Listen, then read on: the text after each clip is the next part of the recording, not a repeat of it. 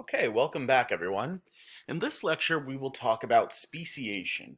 And speciation is the process by which organisms become distinct from other organisms. So one species becomes distinct from another. Um, let's just get right into it.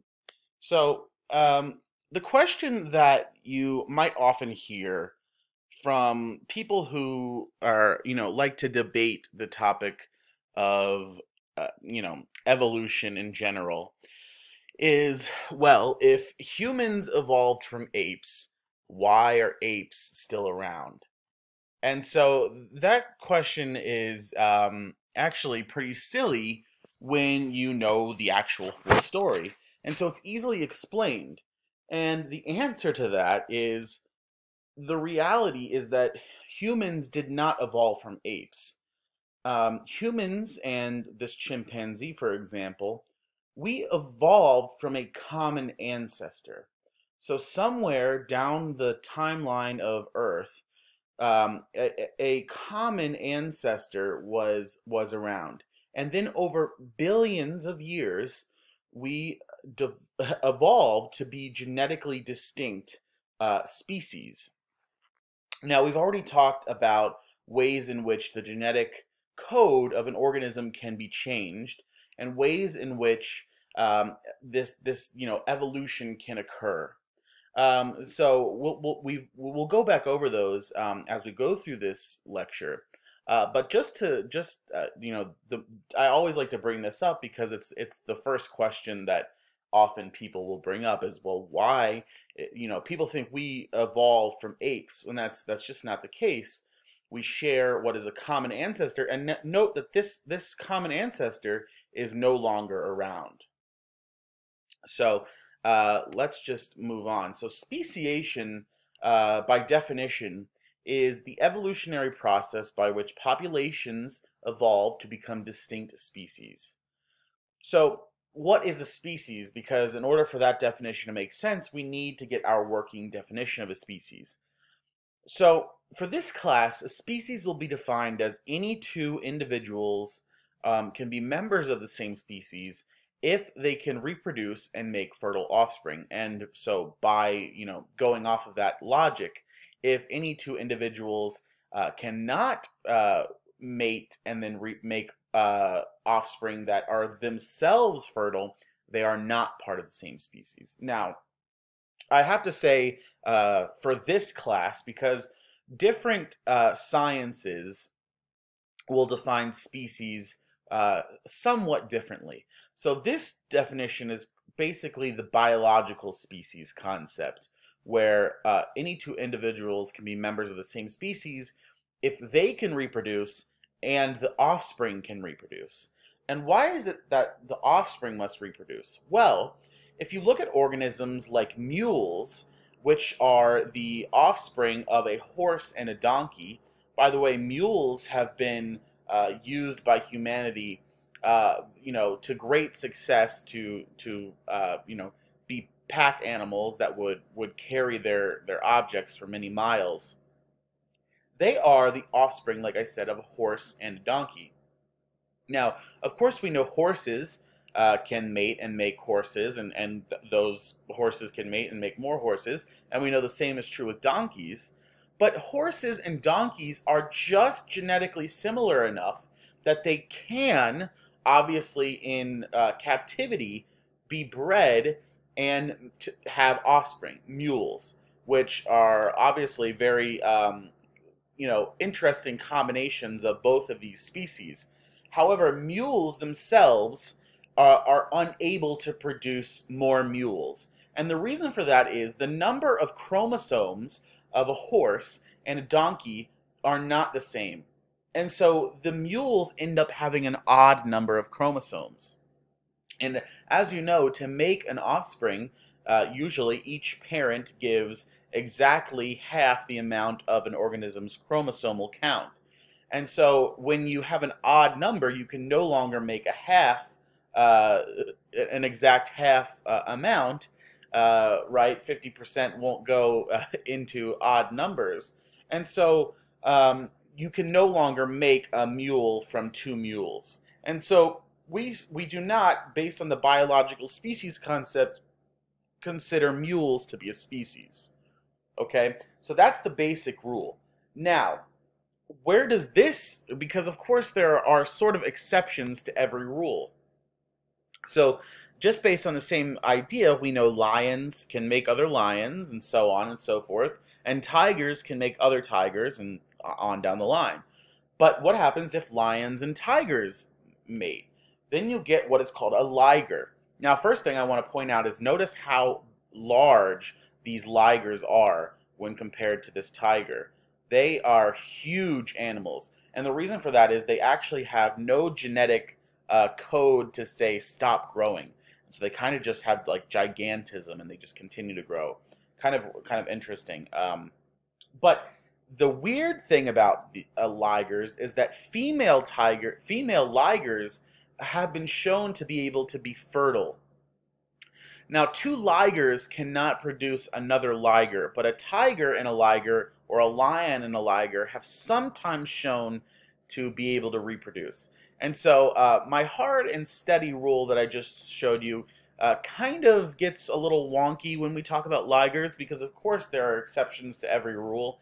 Um, but in, in reality, it's kind of the same because two ligers have not been shown to make other ligers. And so um, basically we're gonna we're gonna hold fast with our rule here that if two organisms can mate but their offspring are not fertile, they are not considered to be the same species. Okay, so how does speciation occur? Well, in order for speciation to occur, we said reproductive isolation has to occur, whether that means they cannot reproduce at all or the offspring they produce are not fertile.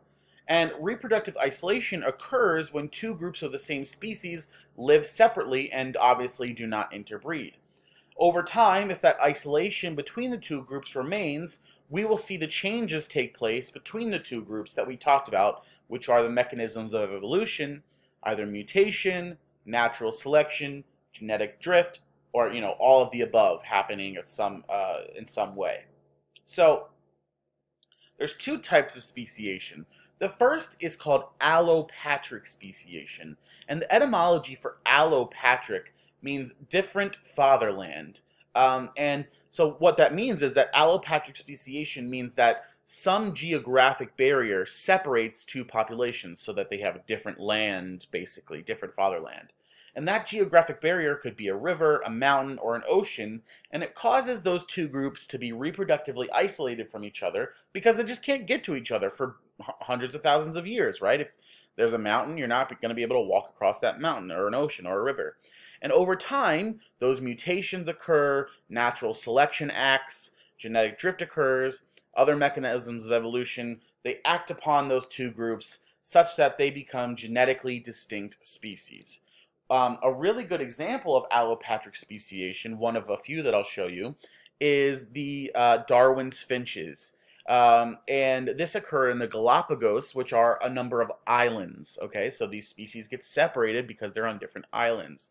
There's about 15 different species of finches on the Galapagos Islands, and they each look different. They've got specialized beaks for eating different types of foods, like insects, seeds, flowers, cactuses. Some use tools. So they're all different because they are on different islands. And so this is an example of allopatric speciation. Another example are the Grand Canyon squirrels. And so maybe you're not familiar with this, um, but when Arizona's Grand Canyon was formed, squirrels and obviously other small mammals and organisms that had once been part of a single population um, would no longer be able to access each other and reproduce with each other because there's this new geographic barrier. And that's just going to allow them to, to not be able to interbreed. And so that squirrel population is just undergoing allopatric speciation. And so what we have um, are two separate species. So on the left here, we have the kaibab squirrels, and they inhabit the north rim of the Grand Canyon, and the Abert squirrels on the right inhabit the south rim. Um, and so according to uh, National Geographic, um, those two species uh, are, are only found on those sides. So kind of interesting. You can see um, they kind of have similar traits, but they also have much different uh, traits as well in terms of coloration and and sort of like overall look to them. And so, just in the time that the Grand Canyon uh, formed, which is obviously a very very long time, uh, these squirrels have changed that much. And you know, the Grand Canyon is a is a vast expanse, but you know they're still in the same uh, country, you know, so in the same state even. Uh, so just an example of how powerful uh, moving two populations and giving them many, many years uh, to only interbreed with themselves can, can cause uh, speciation to occur. Also, I, I, should point out that if you put two of these individuals together, they would not be able to mate. So they are definitely different species. So pretty interesting. Um, the, the next is sympatric. So if allopatric is different fatherland, sympatric, same fatherland. Um, and so you might think that geographic barriers are always going to be required for speciation to occur because, you know, what else is going to stop organisms from breeding together? Um, but sympatric speciation is speciation that occurs right in the same area. But there are going to be barriers that create the reproductive isolation. And there's going to be pre-zygotic barriers and post-zygotic barriers. What is a zygote? A zygote is what happens when you combine sperm and egg. So there are barriers that happen before the zygote forms, and then there are barriers that happen after the zygote forms. So let's talk about each of those. So the pre-zygotic barriers are factors that prevent the zygote from ever forming. That could be behavioral isolation, like the birds we've seen who sing different songs or do different dances, where the female of one species is only going to be attracted to that song or that dance. One of the common examples of this that I'll show you is the eastern and the western meadowlark. And so these guys certainly look very, very similar. Uh, it's impossible basically to tell with the naked eye uh, what what species they are, eastern or western, uh, by by looking at them. Uh, but genetically, they are uh, completely different. And the reason that they are different is because they've developed different songs. And these songs are so different that the females of one species will absolutely not mate with males of another species. And so that is uh, behavioral isolation. How about temporal isolation? Well, we have the eastern and the western spotted skunk. Obviously very, very similar looking to the eye, but these species do not and cannot mate with each other because the time in which the females are ready to mate doesn't match up. The eastern spotted skunks breed near the end of winter, while the western one breeds in the autumn. And so they're just never ready to sync up. And so this temporal or time isolation is a pre-zygotic barrier. How about habitat isolation?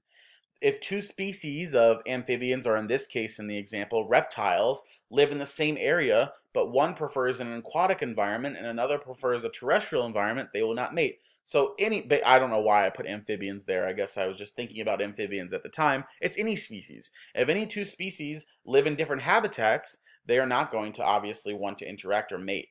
And so we have uh, two this two different species of Thenops, Thamnophis, which is a snake, and one lives on the land and one lives in the water and obviously those two are not going to mate and so that is habitat isolation another pre-zygotic barrier. Let's talk about these post-zygotic barriers. And these are the barriers that prevent two species from producing viable offspring even though they can certainly uh, have intercourse and have an egg be fertilized by a sperm. So remember the liger example uh, the liger or the mule can be produced, but the liger itself cannot reproduce.